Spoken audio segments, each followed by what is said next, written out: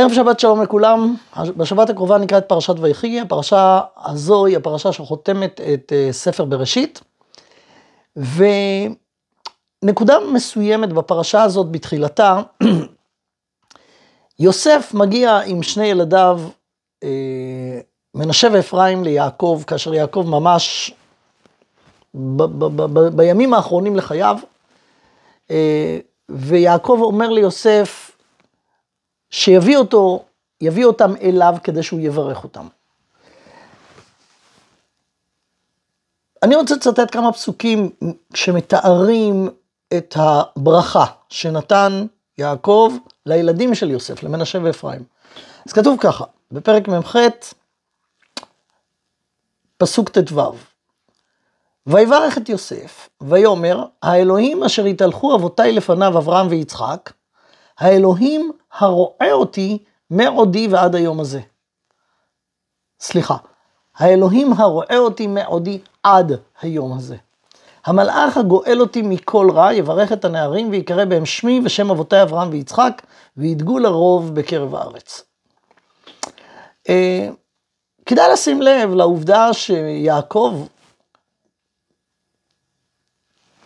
מגדיר במרכאות, או מכנה את הקדוש ברוך הוא, או מציין את הקדוש ברוך הוא כמי שרואה אותו מעודו עד היום הזה. הרואה אותי. בהמשך כתוב מילה מאוד דומה, במילים הבאות, כן? האלוהים הרואה אותי מעודי עד היום הזה, המלאך הגואל אותי מכל רע. אז זו הזדמנות מעניינת אה, לדון במושג הזה, כי יש פה איזה דבר שטעון הסבר, המילה רע. רע זה דבר רע, רע זה דבר רעוע, זה דבר שבור.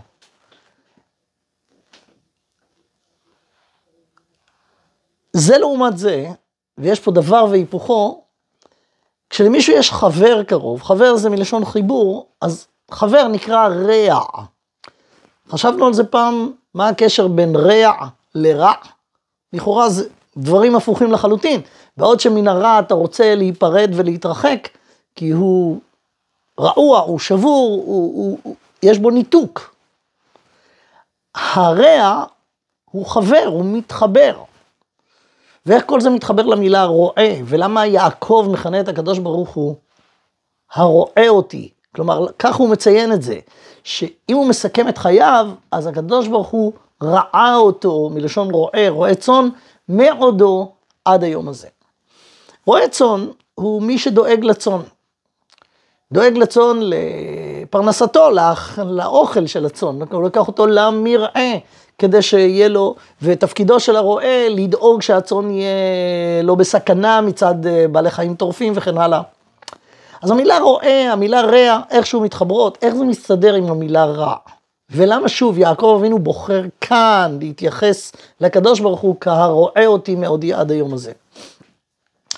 אז מה שצריך לדעת זה ככה, אה, הזכרנו את זה בהזדמנות אחרת, שיש דברים בעולם, אירועים שקורים לאנשים בודדים, לעם, לעמנו למשל, לעם ישראל, דברים שנראים מאוד רעים.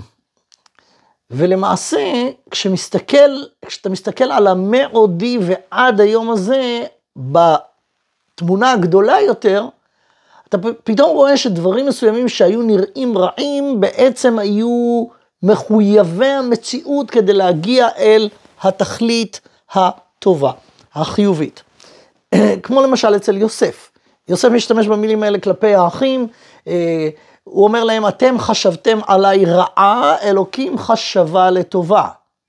רבות מחשבות בלב איש, עצת השם היא תקום, אז על זה יצא לנו לדבר בעבר. יעקב עבר תלאות רבות בחייו. החל מצרת עשיו, שהתחילה עוד בהיריון, ואחרי זה כשהם גדלו, והרצון של עשיו בסופו של דבר להרוג אותו, וכתוצאה מזה הוא בורח ממנו ומגיע ללבן, ואז יש לו צרות עם לבן. לבן מרמה אותו. ואחר כך יש את, אה, כשהוא מגיע בחזרה לארץ כנען, את צרת דינה, וכמובן בסוף זה צרת יוסף, אבל בסוף הכל איכשהו יסתדר, זאת אומרת אצל יוסף נכון, היה לו 22 שנה קשות מאוד, שהיה בטוח שיוסף בכלל לא בין החיים, אבל לאחר מכן הוא מגלה את יוסף, כמו שהוא אומר לו כאן, ראו פניך לא פיללתי, והנה הראה אותי השם גם את זרעיך. לזה הוא מתכוון. הוא מתכוון שיש דברים שאתה בתור צאן לא מבין את הכוונה של הרועה. ודברים שלך בתור צאן, בואו רגע ננסה להיכנס לראש של השה, שנגיד באיזשהו מקום אה, רוצה ללכת אה, לאיזשהו מקום והרועה עוצר אותו.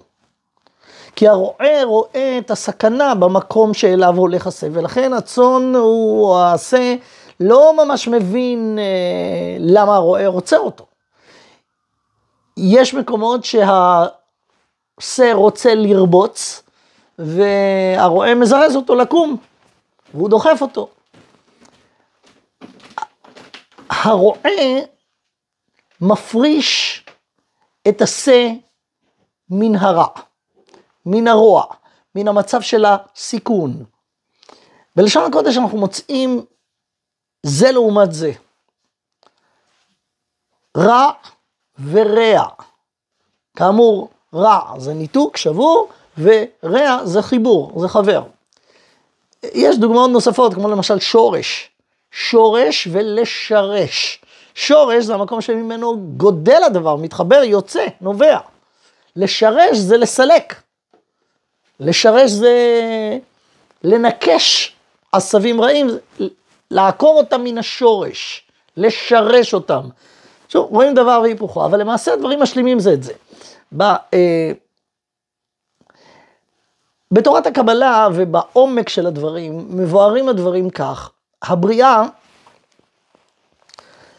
הבריאה נבראה חסרה.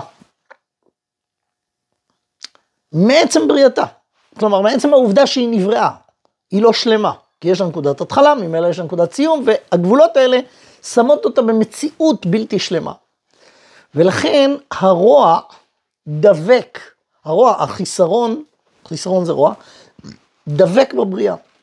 והואיל והרוע הוא מחובר לבריאה, הרי שהרוע הוא בעצם רע של הבריאה, רע לא טוב. והתכלית בחיסרון הזה היא לנתק אותו. לנתק את החיסרון, דהיינו להשלים ולסלק את החיסרון. יש רק דרך אחת, להתחבר, להתחבר, רע, לרעך ורע אביך אל תעזוב, שזה הקדוש ברוך הוא. זה, זה פסוק, רעך ורע אביך אל תעזוב, זה הקדוש ברוך הוא. הקדוש ברוך הוא הוא הרועה.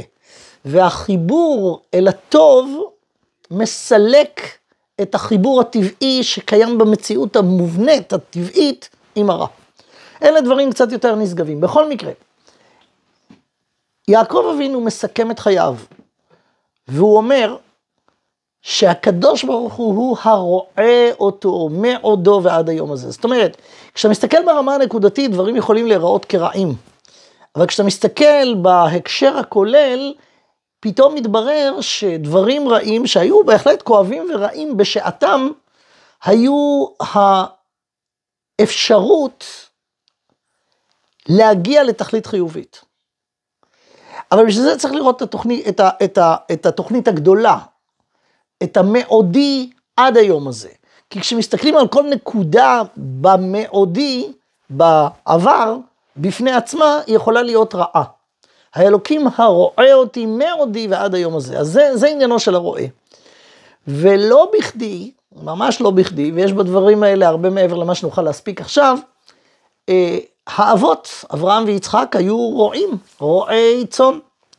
יעקב מוזכר, אה, לא, אגב, לא רק, כשיעקב פוגש את רחל, אז כתוב על רחל, כי רועה היא, נכון? הרועים שם, הוא פוגש, כשהוא, כשהוא יוצא, ויצא גם מבאר שבע, אז הוא פוגש את הרועים, אז הם אומרים לו, והנה רחל ביתו באה עם הצאן. רחל, ביתו של לבן, באה עם הצאן. יש סיפור ואריכות דברים גדולה מאוד בקשר לעניין של הצאן בביתו של לבן, שיעקב רואה את הצאן הזה ויש לו הרבה מאוד צאן וכן הלאה. עם ישראל נקרא צאן, ואתם, ואתם צאני צאן מרעיתי אדם אתם, יחזקאל, הזכרנו את זה גם כן כמה וכמה פעמים. הקדוש ברוך הוא, הוא רועה. רועה ישראל האזינה. פסוק בתהילים פרק פ'. משה רבנו רואה את הצאן אחר המדבר, נכון? משה רבנו רואה צאן, דוד המלך הוא רואה צאן. הרועה עניינו, ובאמת זה היה האופן שבו הקדוש ברוך הוא בחר את מנהיגי עם ישראל. מי שדואג לצאן, מי שמפריש את הצאן מן הרוע, הוא הרועה, כי הוא מחבר אותם, שוב, רש עין זה חיבור, אז יש חיבור לרע, שהוא חיבור מובנה, שצריך לפקח עליו, ועל ידי החיבור אל השלמות האבסולוטית, שזה הבורא, ממנה אתה מסלק את הרוע. אז בעניין של הרעות, יש חיבור מצד אחד, הפרשה מצד שני. רעים, או בלשון התורה, האישה נקראת רעיה. אז הרעיה היא חיבור מצד אחד והתנתקות מהחברה הכללית, כי יש זוגיות שהיא ייחודית. הר, הרעות, רעות זה חברות. עכשיו החברות זה חיבור, חיבור הוא חיבור לטוב, וממילא ניתוק מהחיבור המובנה שנמצא כאמור, כמו שאמרתי, למי שהצליח ככה אה, להבין מקצת ממה שמתואר בעומק בעניין תורת הקבלה, שכל המציאות הפיזית מעצם עניינה נבראה כבעלת חיסרון, כדי שהאדם ישלים אותה. אז זה בעצם המשמעות של הקדוש ברוך הוא רואה אותנו, משם רואה אבן ישראל, וזה מוזכר בהקשרים שונים, במקומות שונים. אגב, בדברי הנביאים יש תוכחה שהקדוש ברוך הוא מוכיח את הרועים בדבריו, ש... בנבואתו של יחזקאל, על הרועים הרעים. זה לא סתם לשון נופל על לשון, זה הרבה יותר מזה לפי מה שאמרנו פה. הרועים הרעים שהובילו את עם ישראל, הייתה להם אחריות לנתב את עם ישראל בצורה נכונה, והם הובילו אותו כרועים לא אחראים, שפשעו בצאן והביאו אותם למצבים אה, של אסונות, מצבים אה, רעים. וכתוב בדברי הנבואה בכמה וכמה מקומות, שדוד עבדי באחרית הימים, משיח בן דוד, רועה להם לעולם. זאת אומרת, הוא, הוא הרועה הנכון, הוא הרועה הנאמן. משה רבנו נקרא הרועה הנאמן. אה, זה, זו המשמעות של הדבר הזה, שכאמור בדרך כלל לא מגיעים אליו, רק חשבתי שכדאי להדגיש אותו, כי זה הבחנה שיש לה השלכות גם פרקטיות לחיים, בהבנה של מה זה אה, רע, ומהי רעות מול התנתקות מן הרוע. אה, אז זהו, שיהיה לכולנו שבת שלום ומבורך.